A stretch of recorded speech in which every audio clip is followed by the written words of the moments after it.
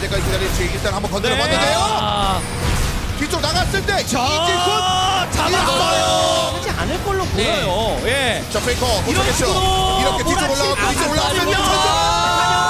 또잘 다시 나가요. 페이커. 줄타기 잘 우리 쪽으로. 나가요. 자이언이 고 가기에는 좀 불안하죠. 네. 상대는 암살자입니다. 예, 여기서는- 암살자예요. 여기서 또 묶고요. 또 묶고 찌르게 페이커. 네요.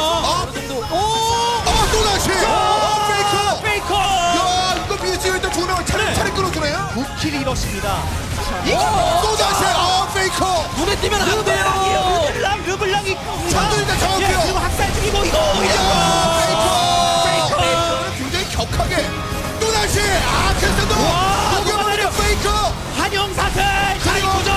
에프람 그대로 나갑니다. 완전 자이라는 나오면 신무기를 만들어주고 있어요. 이게- 낭만 직당합니다. 예, 지금은면 탱커를 먹고 다 녹입니다. 예, 빼야 돼요. 순설의 르블랑. 어사드리 씨 감사요죠. 네. 지롱도. 지롱도 일단은 아. 야, 카고스가 얼마나 많이 못 컸으면 네. 데미지가 많이 안 들어가는 야, 상황이에요. 이거 20분 썰은 나와도 안 이상하겠는데요? 지금 격차가 엄청나게 벌어졌습니다. 네. 저는 이게 어쨌든 바론을 가는 선때 바론에 대한 데미지가 많이 안 들어가는 상황이라서 분명히 위험할 수밖에 없는 상황이었고요.